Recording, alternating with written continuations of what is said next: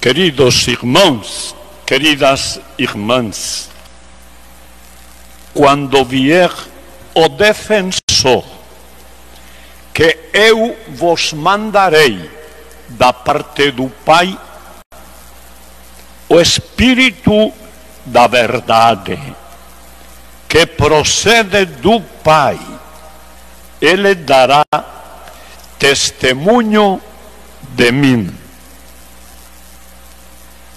O defensor é o Espírito Santo.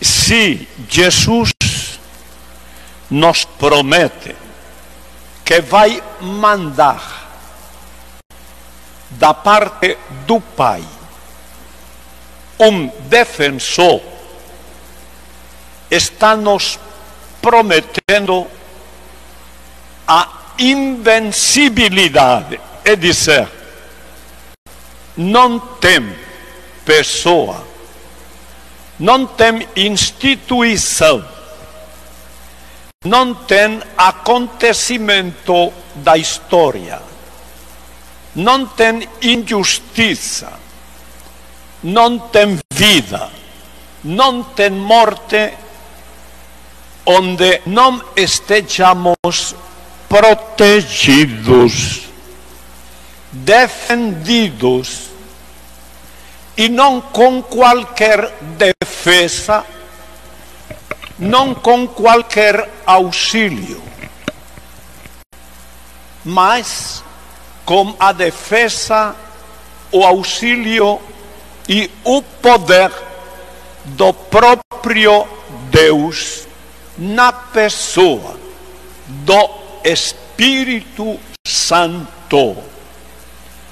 Portanto, se nós temos fé, se nós cremos nas palavras de Jesus, sabemos e experimentamos, porque é lógico, se temos um defensor, e este defensor é Deus, prometido pelo próprio Jesus, que nos amou, nós vamos experimentar esta proteção, esta defesa e esta segurança. Ai de nós, se crendo que está conosco o defensor prometido por Jesus, não o experimentarmos, que de outra maneira equivale a isto, a ouvir palavras, palavras e palavras do Evangelho ou sobre o Evangelho, mas sem nenhuma penetração dentro, no mais íntimo do nosso ser. O Espírito defensor, o Espírito da verdade. Jesus nos diz que este defensor procede do Pai. Tem sua origem no Pai. Procede do Pai. Vem da parte do Pai. O Espírito da verdade. Espírito é o mesmo do que alento, do que vento, até do que tempestade, o mesmo do que respiração, do que alento. E este alento está no mais íntimo de Deus, do coração do Pai. É o alento profundo de Deus, é o mais íntimo de Deus, é aquilo que o faz ser amor. porque este alento procede do ser divino, daquele que disse: Eu sou.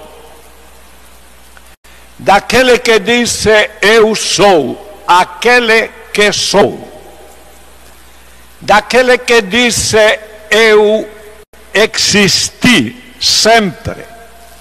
Existo agora e vou voltar. Do mais íntimo.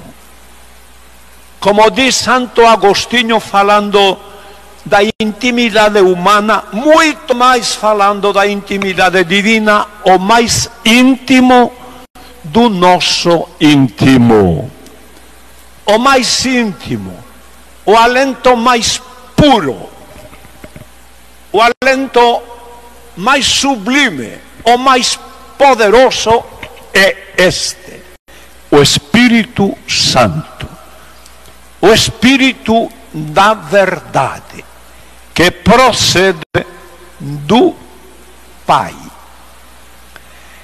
E esse alento que é vida se comunica a nós, nas nossas profundezas, naquilo onde você nem pode conhecer que pode chegar, até aí chega o alento do Espírito Santo. São Paulo, na, na segunda carta aos Coríntios, diz do Espírito Santo que sonda, que penetra, que invade, que impregna, que faz sua presença lá, no íntimo do coração de Deus, nas profundezas de Deus. Já não somos nós que vivemos, é o próprio Cristo que vive em nós, precisamente pela nova criação, pelo Espírito Santo, porque temos nascido da água e do Espírito no santo batismo. Por isso é que, como diz Paulo, as coisas velhas passaram. Tudo é novo. As coisas velhas passaram. Tudo é novo. Porque a vida presente, tanto você, irmão, irmã, que está participando desta celebração eucarística, como eu, somos uma criatura nova. Todo o pecado do passado, tudo aquilo que nos maltratava, tudo aquilo que nos fazia escravos, tudo aquilo que nos acorrentava a nós mesmos e não tínhamos como arrebentar estes grilhões, tudo foi destruído, rompido pelo poder do Espírito Santo no santo batismo. Tudo é novo. Portanto, a morte que está aí, a morte que nos envolve de um modo completo, para aquele que está em Cristo Jesus pelo Espírito da verdade, tem outro sentido completamente diferente. Por quê? Porque o espírito da verdade é o espírito contrário ao espírito da mentira, ao pai da mentira, que é o diabo, como nos diz São João no capítulo 8, versículo 44 do seu Evangelho. E diz mais: Vós sois filhos do diabo, aqueles que resistiam à fé, aqueles que sabiam teologia e sabiam a Escritura, mas resistiam, não entravam no reino. O chama de filhos do diabo, porque aquele que não tem fé, ele odeia, odeia mesmo a Deus. É inimigo visceral e o será eternamente se não crê. E odiará a seu pai sua mãe será um eu gigantesco plantado no seu coração e excluindo aos outros por completo. Cristo em nós, esperança da glória, portanto, contra o medo do demônio, contra a mentira do demônio, que diante da morte nos tenta dizendo: Teu Deus é um Deus miserável, Ele não tem poder para libertar-te da morte. Estás vendo? Tua mamãe morreu faz três dias. Teu filho está doente e vai morrer, porque o teu Deus não serve para nada. Ele tem gana. E tu tens que abrir os olhos.